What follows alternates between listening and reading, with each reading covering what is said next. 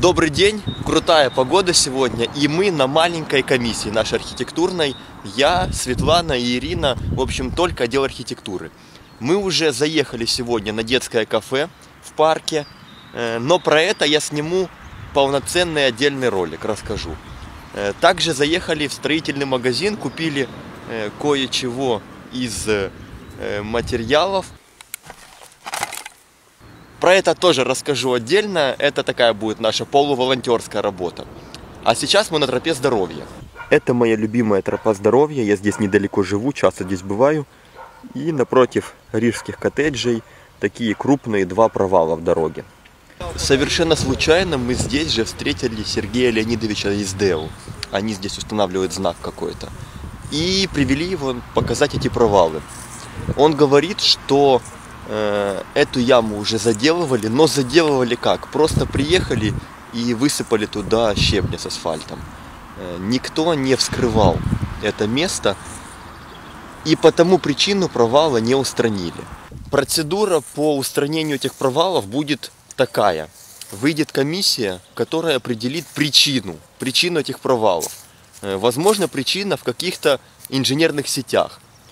Потом профильное КП устранит эту причину, чтобы просто она не повторялась, и обязана восстановить это дорожное покрытие.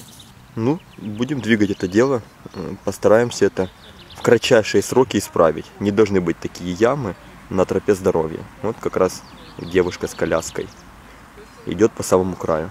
Второе место у нас на сегодня это э, Вухастый остров. Завтра будет открытие, и мы пообещали поспособствовать в том, чтобы здесь появился пешеходный переход. Пешеходный переход, конечно, здесь нужен. Мы просто сейчас посмотрим, где конкретно на дороге он должен приходиться на э, площадку для выгула собак. А дальше просто согласуем это с полицией. Я все хочу в городе попробовать где-то эту бетонную парковочную решетку, через которую растет трава. И возможно здесь как раз тот случай, что ее можно попробовать, э, подходя к пешеходному переходу будущему и от него уже к самой площадке. Возможно эта парковочная решетка бетонная будет кстати. Все равно девушки на каблуках не ходят выгуливать собак. В общем у нас дилемма. Первый вариант это вязать пешеходный переход так, что его край попадает в край именно входа на площадку. То есть вот так и вот так. Но если спроецировать его на дорогу, то мы четко попадаем на то дерево. Дерево пилить не вариант. Второй вариант – это вяжем пешеходный переход строго по центру площадки. Тогда человек, переходя по переходу, попадает на какую-то условную площадку перед входом и уже как-то наискось попадает во вход. Тогда, конечно, э, переход вяжется нормально между деревом и столбом. И, возможно, мы именно так и будем делать. Вопрос по дорожке, которая будет подходить к пешеходному переходу. Скорее всего, мы сделаем всего лишь одну дорожку поперек от э, Вильнюсского до пешеходного перехода. Все остальные с Рижского, Сталинского, которые будут выходить со своими собаками, они каждый переходит в своем месте и идут по этой зеленой аллее вдоль пока не подойдут к дорожке, которая ведет к пешеходному переходу. Все равно все собачники делают сейчас именно так. Поэтому просто дорожек для каждого мы не наплодим все равно. Дорога на Гуту, и мы дошли до нашей любимой мусорки. И сегодня здесь, на удивление, очень чисто. И висит такое любопытное объявление. Уважаемые жители, убедительно просим вас не выбрасывать мусор возле контейнеров. По дороге будет проходить всеукраинский пробег, будьте благоразумны, не позорьте город перед гостями. Ведется видеонаблюдение, давайте обойдемся без неприятностей. Я очень надеюсь, что все те, которые хотели выбросить сюда свой мусор, но не выбросили по причине этого объявления, не скинули его где-то на обочине. Очень на это надеюсь. Но вообще это место у нас, конечно, до сих пор нерешенное, и с ним мы должны какое-то остроумное решение придумать. Раз люди возят сюда мусор, значит это уже хорошо. Нам на- надо просто создать правильную систему, правильный механизм, как это все убирать и содержать в чистоте. Мы буквально 10 минут назад шли, и здесь ничего еще не было. Этих листьев не было. Было абсолютно чисто. Возвращаемся обратно, и вот человек мешками просто сбрасывает сюда эти листья.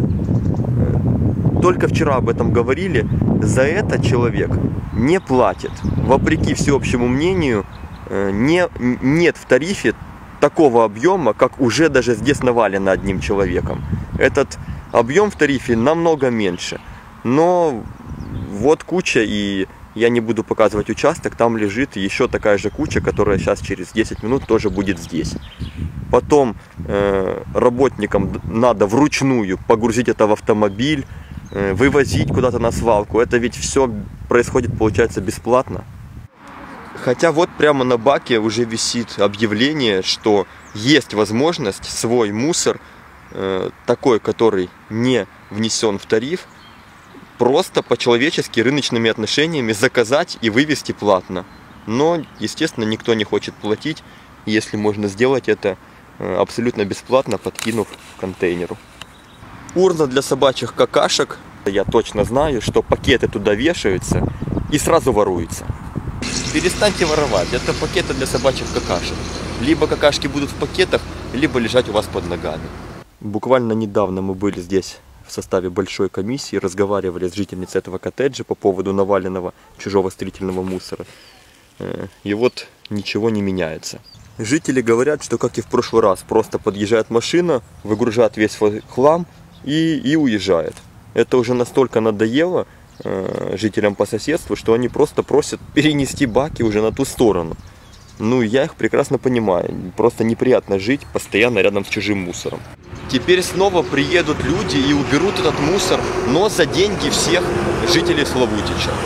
Вот так это работает, когда э, не хотят люди платить свои, за них платят общие деньги. Мы заехали э, в Московский, в коттеджную застройку по одному э, такому достаточно простому вопросу, но заодно э, у нас случилась беседа с жителями, которые здесь э, сейчас активно строятся которые уже построились, живут здесь. Э, так вот, они вполне резонно э, недовольны тому, что существуют вот такие брошенные э, участки, где когда-то давно началось строительство, но уже много лет оно стоит в незавершенном виде. Вообще почти голый котлован, лежит какой-то строительный мусор. Естественно, там бегают дети, это в принципе небезопасно. В общем, проблемы от этого самые разные. И с этим вопросом, конечно, надо начинать разбираться. Не должно быть такого э, прямо в центре города. А в Московском мы вот по такому поводу. Э, здесь такой кольцевой заезд, э, замкнутый. То есть автомобиль может заехать с любой стороны. Недавно здесь вызывали скорую помощь она заехала вот оттуда, остановилась и не смогла проехать э, по кольцевому разъезду, потому что здесь лежал бетонный блок, шпала железнодорожная. Мы, конечно, хозяина шпалы не нашли, приехали своей техникой и просто убрали эту шпалу с общегородских территорий. Э, но буквально через пару дней здесь образовался такой намеренный завал из палет. То есть кто-то просто не желает, чтобы э, кто-то кроме них ездил мимо их ворот. Э, несмотря на то, что это все-таки дорога общего пользования. Но мы подготовились в прошлый раз, и у нас есть э, видеофиксация того, как туда складывали весь этот мусор намеренно. Поэтому теперь мы его уберем не за деньги налогоплательщиков, а за деньги нарушителя. На сегодня частично план по нашей выездной комиссии мы уже выполнили. Осталось вот вопрос жителей, когда уберут металлические столбы, проезд белийских коттеджей. Я, честно говоря, пока так не знаю на слух, где это, но мы туда заедем. Э, протопы в Добрынинском.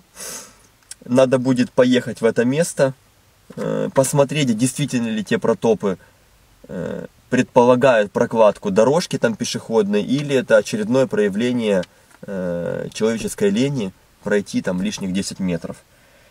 Так, еще, что сегодня было запланировано, Бакинский садик обмерить, помочь с ландшафтом. Все никак не могу туда дойти, пообещал людям, но уже неделю не могу э, исполнить обещание. Э, я туда доеду обязательно. Э, это сделали, это сделали, это сделали. И большая у нас трудоемкая, амбициозная задача – это обмерить двор в Ереванском. Тот двор, где фонтан Самсон, где такой мини-парк, где мангалы. Его надо обмерить, сделать по деревку, чтобы была подоснова для последующего проектирования. Потенциально это самый красивый двор в Славутиче. Этот розовый туф на домах, фонтан, мангалы, мини-парк свой во дворе. Принципиально задача превратить это все в полноценный небольшой парк. Там, где надо поставить парковый забор, чтобы люди не топтали со всех сторон, где-то переложить дорожки или проложить по-другому их, вплоть до того, что запустить фонтан, который пусть не постоянно, но работает хотя бы на праздники, на выходные. Ключ к решению всего этого проекта – это мангалы, как самая интересная фишка этого места – достопримечательность, можно сказать, местная. И фонтан, как сердце всего парка. Вот вокруг них и будет крутиться весь этот ансамбль. Причем, что очень приятно, активист этого двора, э, там такая самоорганизованная группа сознательная, они готовы помочь в обмерах и э, в любом деле по этому двору. Это очень круто и, очень похвально. Это первый шаг к тому, что люди действительно хотят действовать и нести ответственность э, за то место, где они живут. Я обещал еще где-то неделю назад там побывать, но, э, честно говоря, просто, просто не нашел для этого времени. Но я очень хочу начать этот проект и закончить его. Это такой интересный, крупный проект. Я прям с нетерпением жду, когда к нему приступлю. Так что, ребята, мы скоро там будем, спешим на помощь. Все, пока.